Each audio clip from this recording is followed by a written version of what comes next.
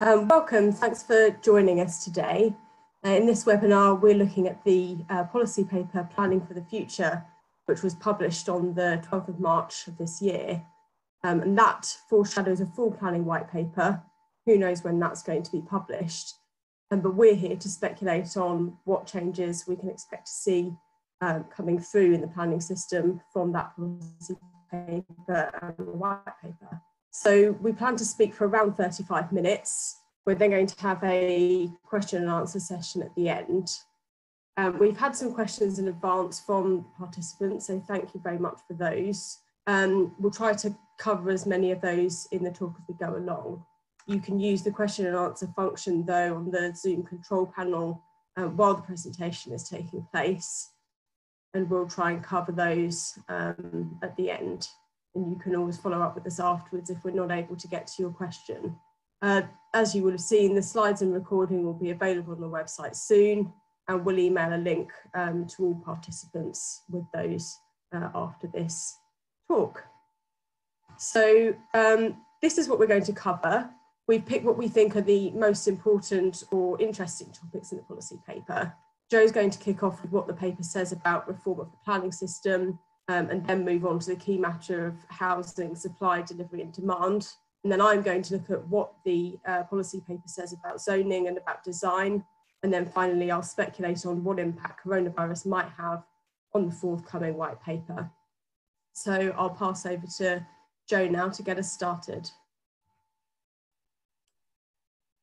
Thanks, Emma, and hello, everybody. And thank you for being so kind about um, my confessing to being nervous about a webinar. This is actually my first um, post coronavirus lockdown webinar, and first things always make everybody nervous, don't they? But um, thank you for your kind messages, a couple of you who heard us admitting to that before we started. Um, okay, so can I have the first slide? Emma's going to be in charge of the slides, so I'm going to talk, and she's going to hopefully um, bring the slides along um, such that they match more or less what, what I'm saying. Um, those, those, of you that heard me speak before will know that I'm obsessed with uh, GIFs. So there's your, your first one. This is um, just really about the context of um, this policy paper. Um, remembering, and we're going to come back to this a few times in the course of um, today, uh, that all of this came before we really knew that coronavirus was coming and that there would be a lockdown and, and so on and so forth. So um, obviously that's also part of the context. But the policy paper itself says at paragraph six that um, basically the world has been transformed since the 1947 Act, which, as you know, was the first act to kind of regulate or seriously regulate at national level town and country planning. Um, the planning process has failed to keep pace, it's complex, out of date, and fails to deliver enough homes where they're needed. Well, as Emma said, I'm going to talk about homes in a little while, but the policy paper is basically saying we're going to change this. Um, a couple of points on, on that. Slightly odd to refer to the 1947 Act rather than anything else. Of course, we deal with the 1990 Act, and I think what they're really saying is that it's that Act that's out of date. I mean, obviously, the 1947 Act is. Um, and secondly, uh, one of the questions raised actually wasn't the NPPF supposed to do exactly what they're now saying they need to do again, which is bring the planning process or system up to date and speed it up and stop it being anachronistic and so on. I, I, I agree with the rhetorical nature of that question. Yeah, yeah, I think the NPPF was supposed to do that. Um, but but here we go again. And of course, the NPPF was updated not really very long ago. Um, but but there we are. Okay, next slide. Well, that little GIF cranks into action. Um, paragraph 13 of the paper has as one of its headings um, speeding up the planning system. I'm just going to talk a little bit about what's suggested under that heading. Um, again, a few of you have asked questions, and th thanks again for the in advance questions ab about this um, proposal about fees structure.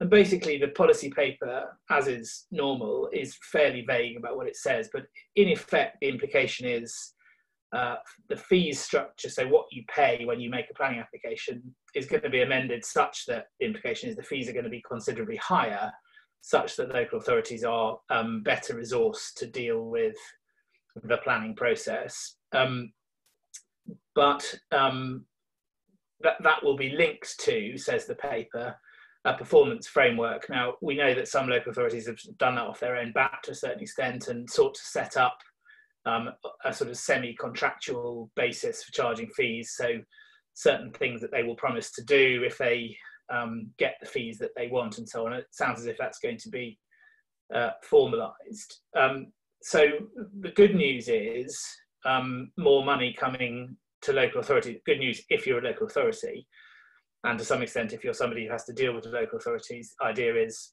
more money might get things done a bit more efficiently or quickly. That's certainly the government's um, aspiration. But there's a fairly big but that comes immediately afterwards.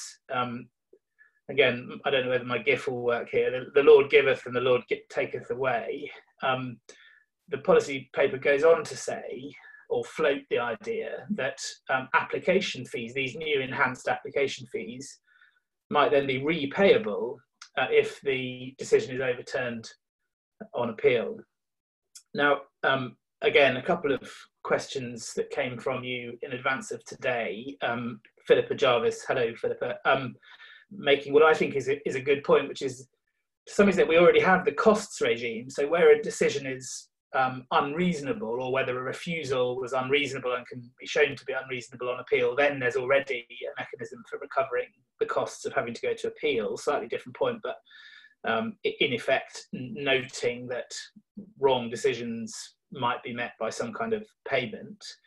Um, and, and, I agree that um, this might have the effect of making local authorities a bit more defensive at the application stage if they're worried that these new enhanced fees will be clawed back and taken away if a year or so down the line at an inquiry an inspector takes a different view. Um, of course, the other point is that lots can change, can't it, between the decision of a, a committee and the decision of an inspector on an inquiry a year later. So query how um, helpful it will be to know that if an inspector takes a different view on a relatively different scheme, or at least a scheme evidenced by, by new evidence, that you will lose all of these enhanced fees that are supposed to um, make the system uh, better and, and, more efficient. So um, I think a mixed bag uh, there. Let's get rid of those fish and move on to the next slide, which is, as some of you will know, my own personal obsession, which is what um, uh, is being said about housing land supply. Um, that's a picture of, did anyone watch the BBC programme The Nest? It, I, I, you can't answer, but um, I'm assuming that some people are virtually nodding. That's the house. Um, it was a pretty amazing house. So when I thought about housing, I thought, let's find out where that is. It's in Helensburgh on Loch Long on the west coast of Scotland. Um, and you can rent it and stay in it. It's lovely. Anyway, um, the policy paper doesn't say anything about uh, BBC drama The Nest or that house. Um, but it does say uh, that there is basically a three-pronged uh, approach to um, the, the, sort of national obsession with providing uh, more housing. So, if you like, the three parts of the pipeline: supply of sites, uh, delivery of units on sites, and then uh, demand. They're not always in that order, but that's the um, order in which they're dealt with in the paper. Um, so dealing with the uh, first one, that's the next slide, and then you can go straight on to the next slide. Emma, thank you. Uh, supply side of things, um, slightly terrifying, another review of the standard method for calculating local housing need. Um, a new approach, it says, I think that's a, sounds like a Star Wars uh, film, doesn't it, another one in the franchise. Um, we, have had a couple of uh, tweaks to the standard method uh, already. Um, but what's promised here is, uh, and I'm going to just speculate here because it's very difficult to know what it means, a, a new approach which uh, emphasizes or, or permits or encourages greater building within and near urban areas. Now, my feeling is that that might be a hint that the government is preparing to abandon the um, household projections as its starting point because at the moment the standard method doesn't really apart from area by area have anything to say about spatial um, placing of, of homes where within local authority areas homes might go or, or, or homes might be needed.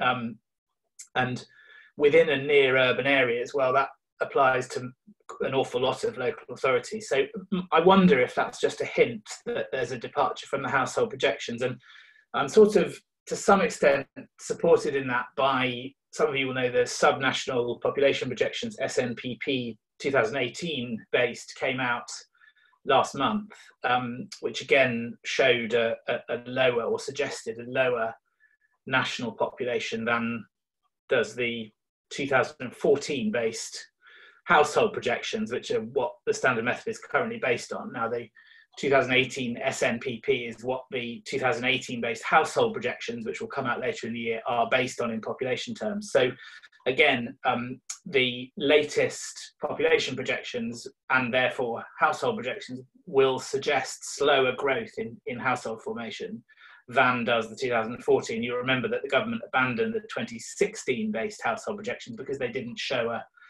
high enough rate of growth and therefore the standard method wouldn't do what it was wanted to do, which is get us towards 300,000 homes a year. So um, that sort of answers um, Edward Kiemer's point in his question, will it derail local plans, the new SNPP? Well, maybe, um, but it, I wonder what the new standard method, this new approach will, will say about that. Certainly it seems to me that there's a hint that there might be a move away uh, from household projections as a basis and, and to something a bit more spatial, but I don't know what.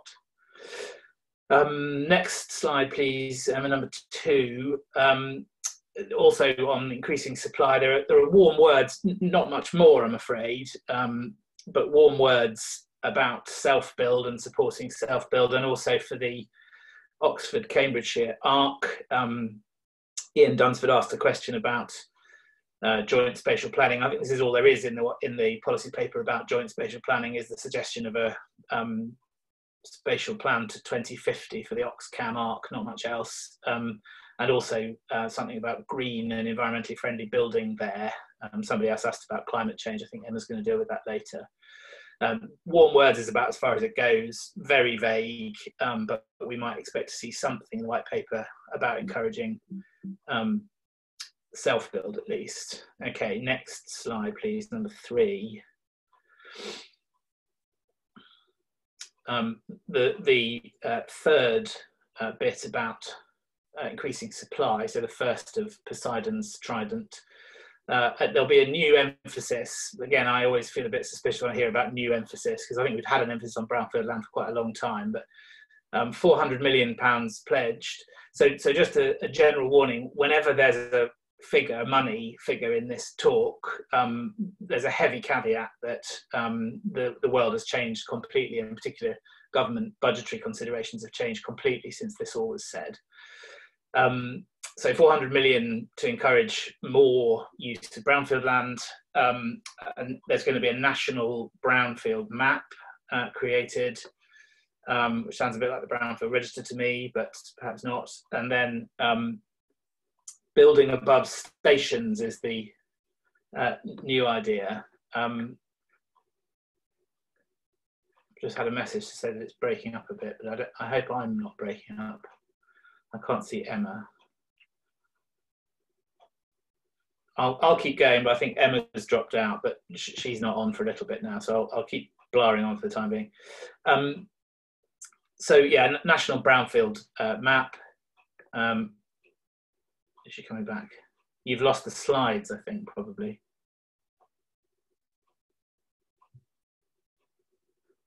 Let's see if we can.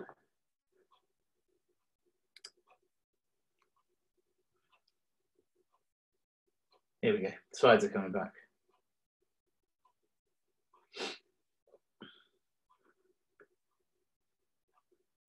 Hmm.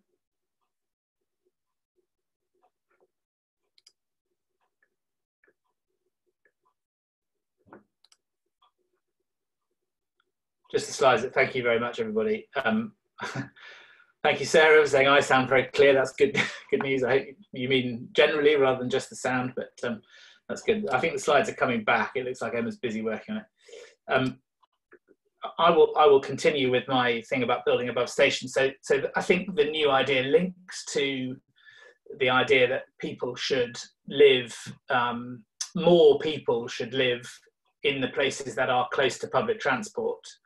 Um, there's going to be a drive, we don't know quite how, um, towards um, new residential development around and even above um, public transport interchanges and, and stations. So um, that's the third one. There's a, there's a fourth one which comes with a slide, but I think at the moment we haven't got the slides. Um, so I'll, just keep talking, which is the government says that this was a new one on me, uh, the word densify, which I hadn't heard before. Um, it's actually a feeling, it sort of describes quite well a feeling I have about myself, which as I get older, I seem to get denser. But anyway, the, the government have decided that densifying is what we're going to do. Um, in particular, um, again, this is the building above stations point, so we can increase the density of uh, residential development on land by building above uh, stations. Um, the paper says that the government are going to call for proposals on how to achieve um, more residential development above uh, stations.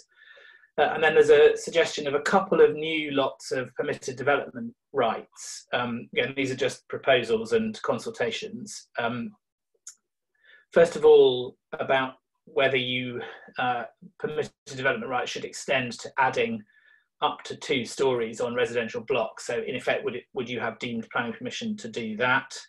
And then secondly, this is about as vague as these things get, delivering new and bigger homes. I'm not quite sure what that means, whether you get permission for a four bedroom house. Permitted development means you can buy, uh, build a five bedroom house. I don't know, but it says they're going to um, look for proposals on that. Um, and then slightly more uh, clear, the suggestion that there might be permitted development rights to demolish uh, vacant industrial and residential blocks and, and build new residential schemes in their place. Bit of an echo of the permitted development right for changing office use to residential, which has actually caused uh, quite a lot of problems in the sphere of noise and so on, the buildings not really being fit for purpose.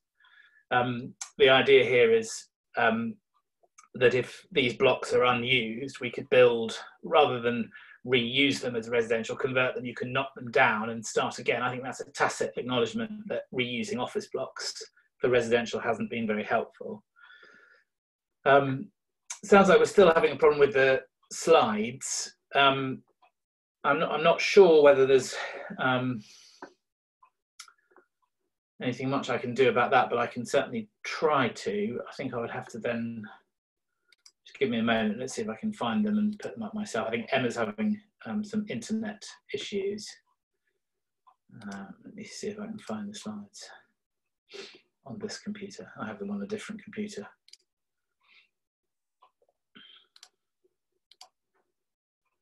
Okay, hold on a minute. And then I can share my screen, I think. So what side are you looking for? Oh, you're back. Excellent. Um, so, are you yeah, there? What slide are you looking for? Sorry, I'm, on, I'm on slide number yeah. 16, which says uh, yeah. B, increasing delivery.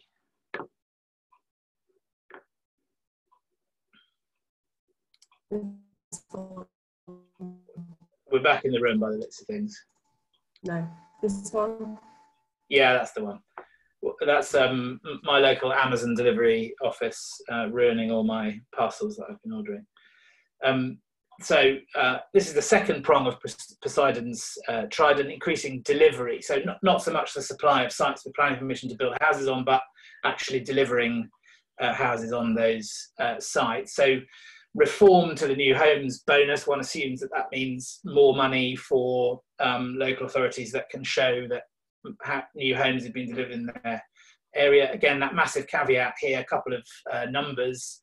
1.1 billion for key schemes and 10 billion both in relation to delivering infrastructure, dealing with the suggestion that sometimes a block to the delivery of new residential development is the lack of infrastructure. And then another um, slightly cryptic phrase, uh, the government would like to explore wider options to encourage planning permissions to be built out uh, more quickly. Now, um, just a, a, quick point about this.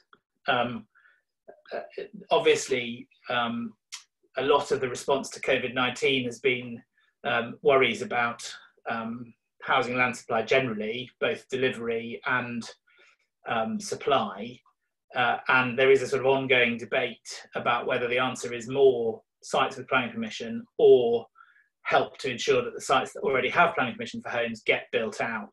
Um, I won't go into that now because that's a long and slightly nerdy chat, but it's it's definitely uh, there. I think we missed one uh, slides. Emma, could you just go back one slide to slide 17, if you're still here? I think you are.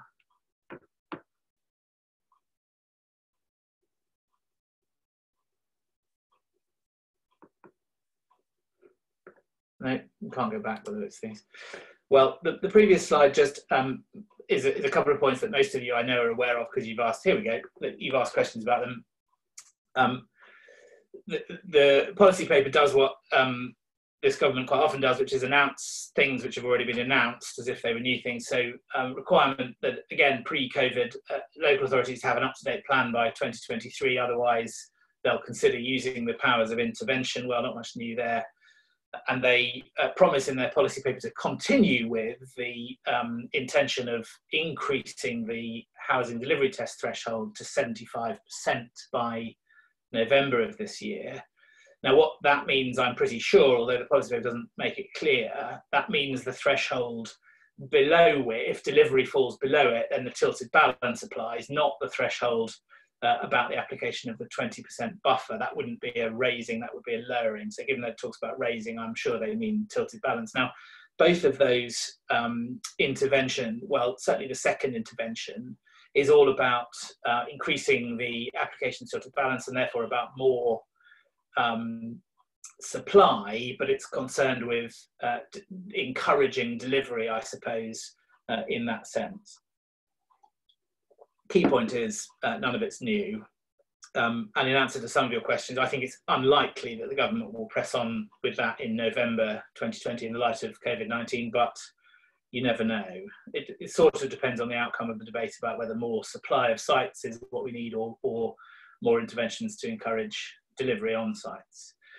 Okay, uh, next slide, Emma, if you're still here. Um, want to demand, sorry, next one again, we've done that one, here we go. Um, so this is the other end of the pipeline. How many people want homes? There are two suggestions in the policy paper for this. Uh, the first homes scheme, which we know a bit about already, basically the first homes uh, scheme is a, a, proposition of a 30% discount to first-time buyers on the market price of a new build property, a discount which is then sort of baked into the price and passed on if they sell it. So if that if the first buyers buy it at a 30% discount, they then when they come to sell it, it gets independently valued and um, the, the, there is still a 30% discount to the new buyer. Um, idea is it encourages uh, people into onto the housing market who wouldn't otherwise be able to afford it, lower the cost of buying a home by an average of 70,000, but it's uh, 30%. Um, and then and then the national shared ownership uh, scheme, a new national model for shared ownership will be more consumer friendly, fairer, and more accessible. Again, I think this is slightly repackaging things that have already been uh, announced. Um, there was a question, uh, again, thanks, about whether this first home scheme would undermine the help to buy scheme, which is, of course, by and large um, shared ownership or equity loans. Well, yes, it yes it might, but I think it's designed to just provide further stimulus for people to come in. My view is that um, the main implication of COVID 19 is going to be depressed demand for new houses. People aren't selling, people aren't forming new households, so on and so forth. So there are going to have to be some fairly um, major interventions onto the demand side to keep things uh, rolling. Okay, um, next slide, uh, I think, is the slide that says hand over to Emma. I say that slightly nervously because Emma's been sort of dropping in and out, but hopefully yeah, I am here. I hope that you can hear me. Joe, it looks like you can hear me at least. I yeah, yeah, my internet connection has been incredibly unstable. I keep getting disconnected. So I'm really hoping that, at least for this segment, um, well, I'll stay online. Anyway, let's see how we go. So uh, moving towards zoning, the context of this um, in terms of planning for the future is that the uh, government is telling us that they want to expand the use of zoning tools to support development. This is under the heading um, Speed Up the Planning System. So what is zoning? It's a land use planning technique used in many countries around the world. Essentially, you've got two key elements. You have a zoning plan. You can see an example of that on the screen here, which uh, identifies um, a number of different zones, splits a city or a district up into zones. Uh, and then you've got the accompanying regulations, which is really where the meat of, of it is. And they specify what's allowed or not allowed in each of the zones, um, and then prescribes detailed rules on matters like density, height, green space requirements, and so on. Um, modern zoning regimes tend to be highly prescriptive. You can get regulations that run to hundreds or, or maybe even thousands of pages, so they're quite complex. So in terms of the, the pros and cons of that sort of system compared to what we have, as I just said, um, the, zoning systems tend to be highly prescriptive, they're rule based. So there's very little room for planning judgment there. That leads to, um, one would hope, more certain decisions because uses are defined as either acceptable or not acceptable in principle. The only question is whether the detailed rules and regulations are met. Whereas obviously in our system, developers commonly have to justify all aspects of their, of their proposals. So there's less to argue about really in a, in a zoning system. Um, the point about fixing land value is it, it, relates to the fact that everyone obviously knows what uses are and are not acceptable. So there's less scope for speculative land acquisition in that sort of system. The downsides um, really are inflexibility because it's rule based and prescriptive. Um, there's not much room for organic growth or responding to social change. So if if the zoning system leads to some sort of social problems or, or it turns out to be bad planning, that can become entrenched. And as I said, the, the, the regulations tend to be very long, so it's a very complex system. So have we adopted zoning in this country to date? Um, essentially, we haven't. It's not been a feature of our system, certainly not in its true sense there are some planning tools that bear certain similarities. Um, I've listed those on this slide. Essentially, they're all um, ways in which the principle of a particular use can be predetermined as acceptable to some extent. Um, but unlike true zoning system, none of those planning tools preclude other uses from being permitted in an appropriate case. So a site might be allocated in the development plan uh, for, for say residential use, but it would still be possible for a different type of use, a, commercial use to come forward um, and be granted permission on its merits, even if that's, that's unlikely at the moment at least. So um, in terms of moving towards zoning, really um, this all comes from the policy exchange paper that some of you might be familiar with, Rethinking the Planning System for the 21st Century it was published um, on the 27th of January this year. Um, Policy Exchange are a highly influential think tank. Many members um, have gone on to be elected either as MPs uh, or government ministers or advisors. Um, and in fact, shortly after this report was published, the main author, Jack Airey, was appointed as a special advisor on housing and planning uh, to the Prime Minister. So it's well worth being aware of the thinking in this, which, which could be described as his manifesto, really, I suppose. Um, the ideas in this paper are pretty radical, um, involve a fundamental recasting of the planning system. Essentially, all land would be divided into two zones, either for development or not for development. There'd be no restrictions on the use of private land plots. So this would be in a very extreme simplified form of zoning compared to the type of systems that I've been discussing earlier. Um, the theory with this would be that market forces essentially determine how land is going to be used. Um, and you'll see um, the last couple of points on the slide. The idea would be to redefine local plans so they're not general policies, but they would become essentially rules defining the form of development. And then applications would simply be a case of deciding whether those rules are met, an administrative process that wouldn't involve politicians at all. And I think Joe's going to come back to us at the end on one of the questions about whether we think that's likely to happen or not. So how does that feed through into planning for the future? Um, there's no indication at all that the government's going to go as far as the policy exchange report proposes um, those proposals, I think, are politically incendiary, especially the idea of removing local democracy. and there are obviously problems with the idea that the market will the right development in the right place. Um, having said that, the Planning for the Future does talk about a bold and ambitious white paper um, with creative solutions to set out a, a, pathway to a new English planning system. So there's certainly, it certainly leaves it open that there will be some more fundamental change, but, but what that is will, will remain to be seen. Um, but for now, the policy paper confines developments towards zoning to essentially um, more use of local development orders. Um, talks about giving further support to local areas, perhaps introducing templates. I think that would maybe help to demystify the process for uh, local authorities who haven't made LDOs before. Um, and then fi financial incentives. Um, it's unclear what I think that would involve.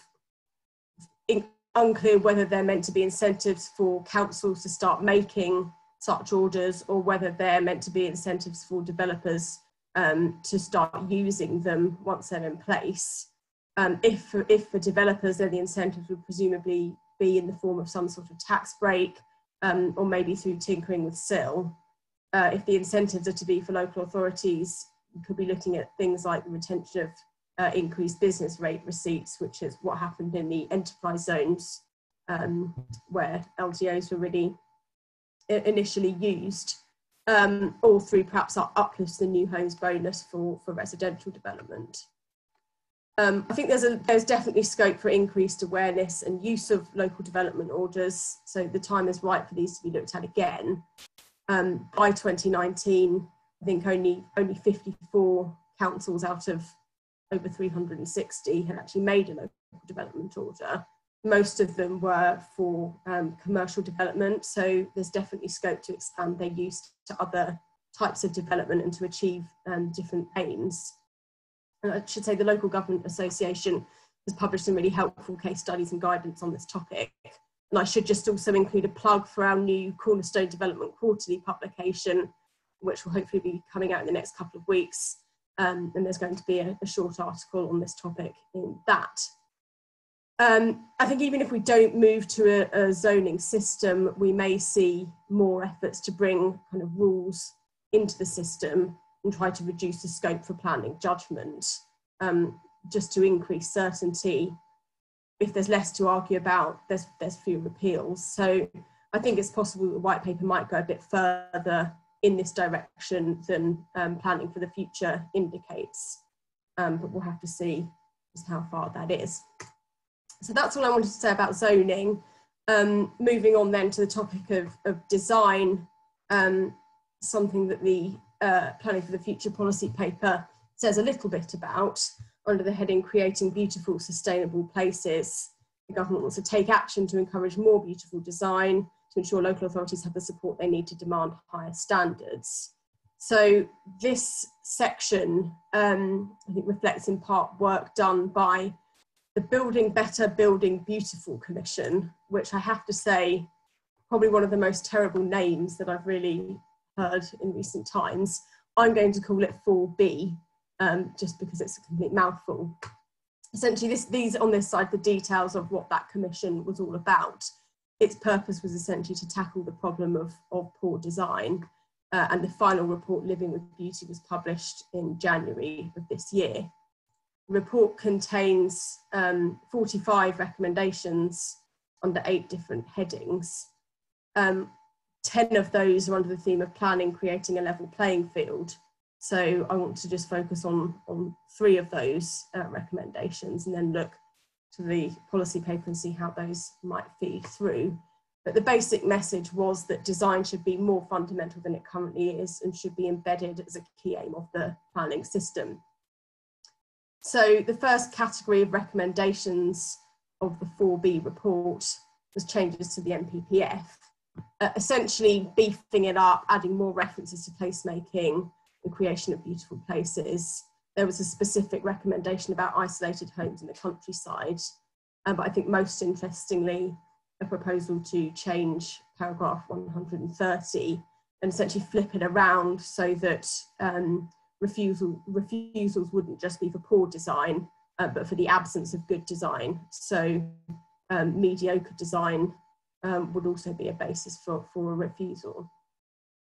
Um, the report then talked about design codes, quite a lot of um, support for uh, design codes in the 4B report, um, support for the National Design Guide, which was published by the government in October last year, which is going to be functioning as a template for local authorities to develop their own codes. Um, support as well for form-based codes, essentially illustrated design rules on the physical development of an area. So um, looking at typologies of buildings, size and style of window openings, brickwork styles, that sort of thing um, was thought to be a good, a, good thing. Um, and um, some specific proposals on permitted development rights. Um, and it was felt that those should perhaps be contingent on compliance with, with any design policy or code um, to tighten that up. But obviously that would be something that would require legislation. Uh, and then the final um, section, I suppose, of, of, of, proposals that I wanted to look at was um, upstreaming, it, it, been referred to as. Um, so setting out clearer expectations on design in local plans instead of general policies um, about supporting high quality design. The, the, the, paper was suggesting that we should have much more detailed um, policies on what kind of design is expected. Um, I would like to just highlight the fast track for beauty um, that was uh, that was referred to. Um, that again, it's it's coming back to this idea of a more rule-based system. I think um, the proposal was that a, a, the design policy or code would act as a set of rules for development, um, and then that would essentially allow the application stage to focus on compliance with with with with that policy. So um, that that would set the details and the rules of what design was was going to be acceptable, um, and then and then apply that when the application came forward. Um, the report also makes suggestions for the call for sites process and that being looked at um, more emphasis on holistic master planning from the outset rather than just reacting to sites um, that are emerging from that process. But we don't know um, really the details of what that might look like. It's, it's something that needs to be reviewed, it tells us. So how does planning for the future respond? Um, I have to say fairly limited and vague response to this report, bearing in mind it was 190 pages long um, and contained 45 recommendations. Although I think it's fair to say some of those recommendations go beyond the planning system. Um, one participant, Beth at Historic England, asked to what extent the white paper would relate to the, the 4B report. I think it's fair to say we'll see more detail on design in that white paper. Um, perhaps on some of the proposals, I didn't go through them, but more on the strategic planning, um, plan making side of things, many of which seem sensible but aren't mentioned in planning for the future. Um, but it, planning for the future does tell us that the government proposes to take forward some of the changes to national policy not specific though as to which of those would be accepted or not. Um, so hopefully that would be covered in the white paper if, if not before then. Um, and then again, design codes, the government's confirming uh, that it wants to see increased use of design codes to set clear expectations. The National Model Design Code, um, the, the competition to procure a consultant to help develop that actually closed on the 2nd of April. So that work's underway.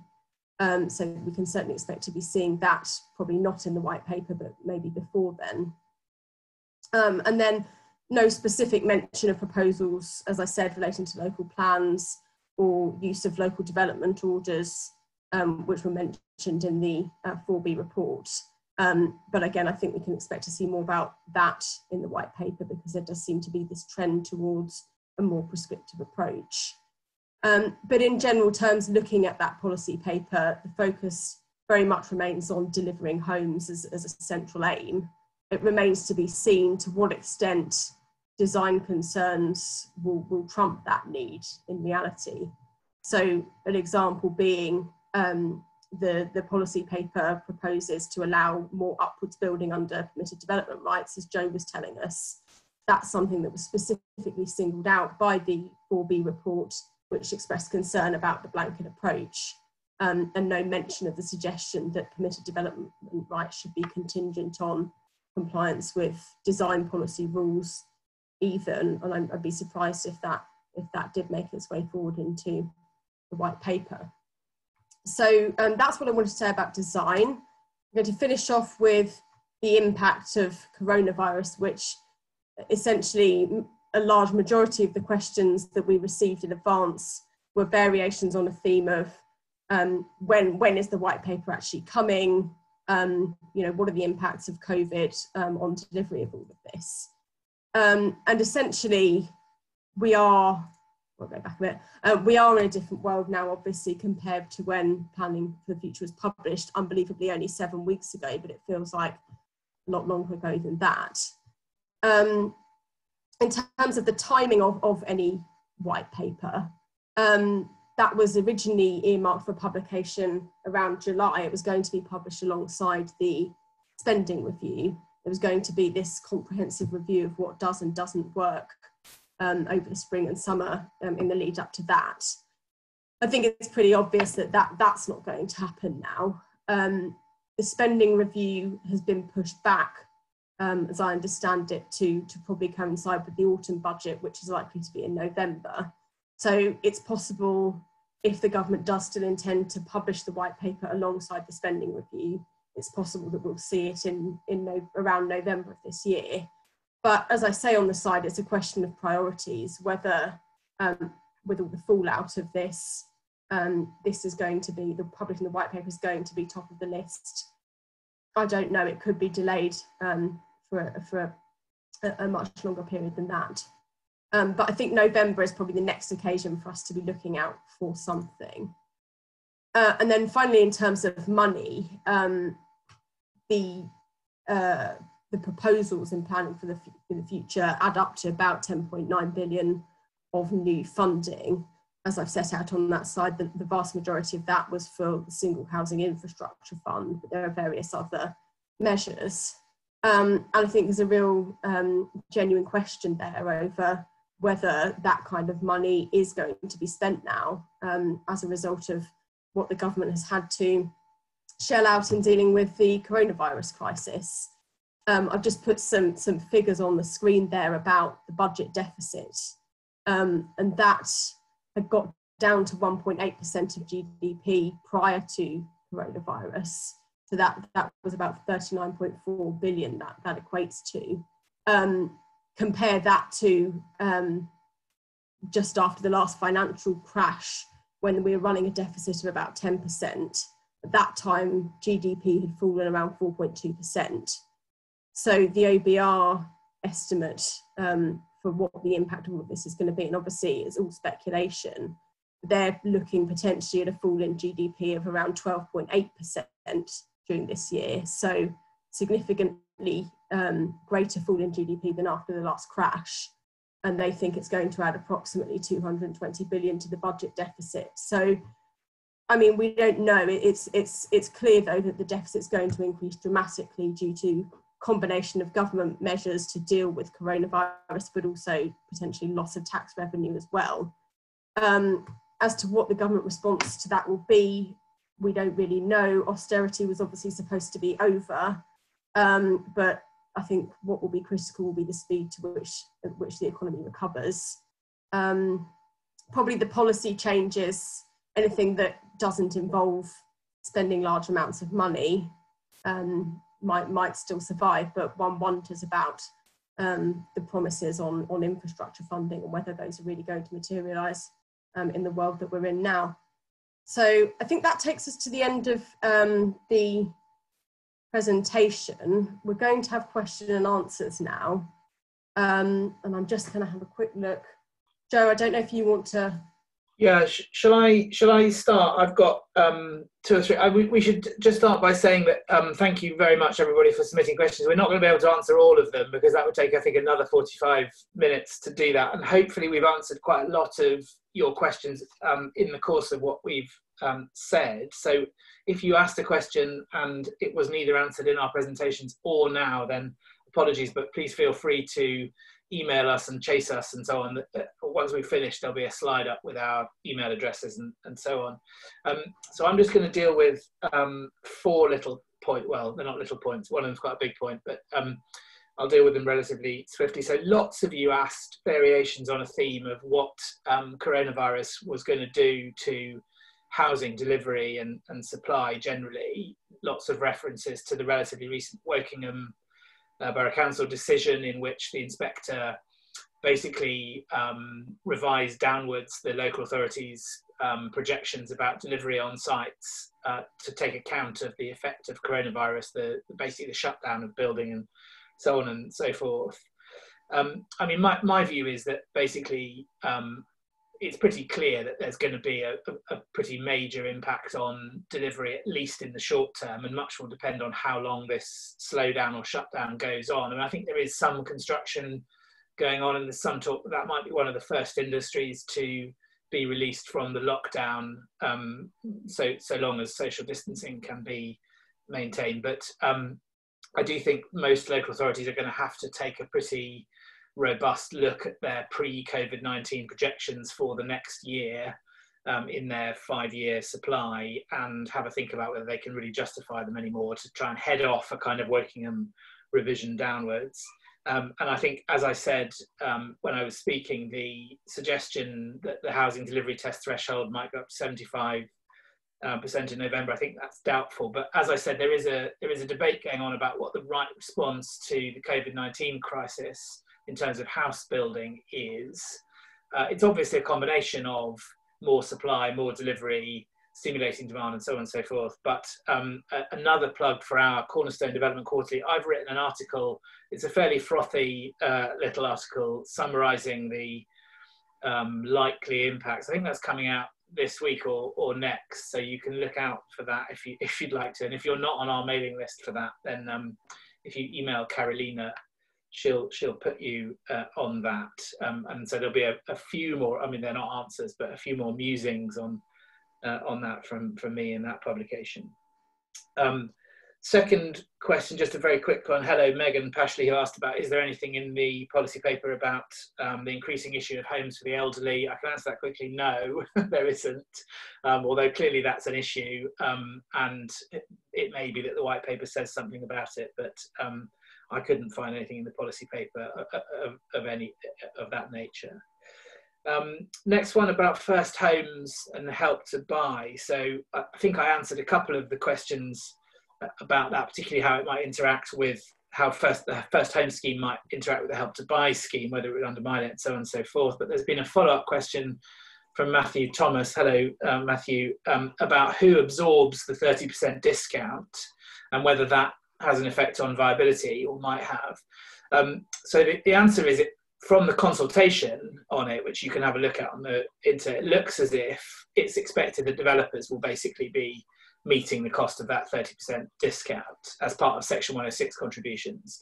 Uh, it may be that there's some help from the government fund too. That's the first purchase, but the way that the discount is baked in means that there's nothing to absorb or, or if you like, it's the buyer who absorbs the baked in 30% retained discount when they come to sell because they just can't sell it for market value. They can only sell it for 30% less. So it's only on the first delivery and first sale of the house that the 30% discount comes. And I think, I'm afraid the answer is on the developer. The um, consultation says a few um, kind things about uh, not wanting this scheme to depress delivery or cause problems with viability, but of course that's a case by case thing. And again, the impact of corona, there may well be viability uh, concerns. Generally, there may well be a general dropping off of house prices, so an additional 30% discount may not be viable. So those are all good good questions. I don't know the answer to them, but um, the, the, basic answer is I think the developer's going to have to pay uh, for those. And then fourthly, I promised I would come to um, one of the slightly more left field ideas in the policy exchange paper. Doesn't seem to have been picked up by the government that um, uh, elected members be removed from the planning process and we leave it all to planning officers. Um, I, I um, imagine that that has um, stimulated some interesting debate amongst the planning community. Um, doesn't seem that the government's very interested in that. I think it would be politically pretty difficult to um, to, to do it either way, either to remove officers or to remove members from the from the process. And there's nothing in the policy paper that suggests that the government are into that or thinking about it. Um, but you never know because the person who wrote it is fairly close to government, and um, we may hear something about that in due course. Um, so again, with apologies if I've mangled or not answered or uh, insufficiently answered your very helpful questions. Um, those are the th three or four I was going to deal with. Emma, you've got a few, I think, so I'll hand over to you now. Yeah, thanks. Um, so Layla Cramphorn um, asked a question about how planning for the future or, or indeed the white paper um, will respond to climate change. Um, I think the answer to that is the response is pretty limited. Um, planning for the future mentions meeting the challenge of climate change when it's talking about what the planning system should do, along with supporting beautiful design and building homes. Um, but the only concrete policy proposal um, relates to the future home standard, um, and apparently that's going to require up to 80% lower carbon emissions for all new homes in 2025, which is described as an environmental revolution to home building. Um, and that's, that's really all um, that the policy paper had to say. Obviously, on the other hand, the Chancellor, I think the day before, had just announced 27 billion for 4,000 miles of new roads in the budget. So doesn't necessarily send out the clearest sign that climate change is going to be a major priority at the moment. Um, so I think we just have to hope that the white paper does have a bit more than that to say on the subject. Um, and then Duncan Milne um, asked a question um, about uh, um, compulsory purchase order inquiries. Um, planning for the future suggests that the government will want to consult on removing the, ultimate, uh, the automatic right to an inquiry. Um, and Duncan asked, well, why? Because numbers have reduced greatly in recent years. Uh, this proposal is in the, in the section on speeding up the planning system. Um, and essentially the government wants to reduce delays in land assembly and infrastructure delivery, which obviously in turn delay uh, the delivery of housing. Um, and sometimes a compulsory purchase order might be held up by a single objector or people um, might submit protective objections just to buy time because the timescales are tight, which then triggers the need for an inquiry. So it, it could be um, just along those lines, um, trying to kind of weed it out a bit. Um, but as we know, there's a general tend to, trend to reduce inquiries and to save time and money. Um, so really, I think this is probably part of that. Um, then uh, Stephen Bainbridge asked a question about uh, what will be done about planning officers and their apparent readiness to look for problems rather than solutions. I don't think anything concrete, certainly there's nothing in planning for the future along, along those lines.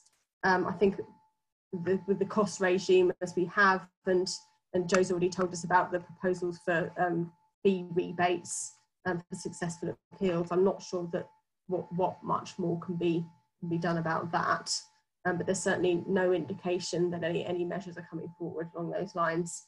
Um, and then finally, Matthew Thomas asked a question about um, uh, the NPPF and the design codes um, and whether there's any indication in a relaxation of the ability of local authorities to set out uh, local sustainability standards which go above and beyond building control. And the short answer is no, there's nothing, there's no mention of that. Um, in planning for the future. Um, I would imagine, given the emphasis on, on local design codes generally, and, and that being something that the government's keen to increase the use of, then there may well be more flexibility though coming forward in terms of what local authorities um, are able to achieve. So I think that deals with the questions that I wanted to respond to. So I think that probably takes us to the end of the webinar. Um, so thanks everybody for joining us. Sorry about some of the technical problems that we had, um, but I hope that it was that it was useful and interesting.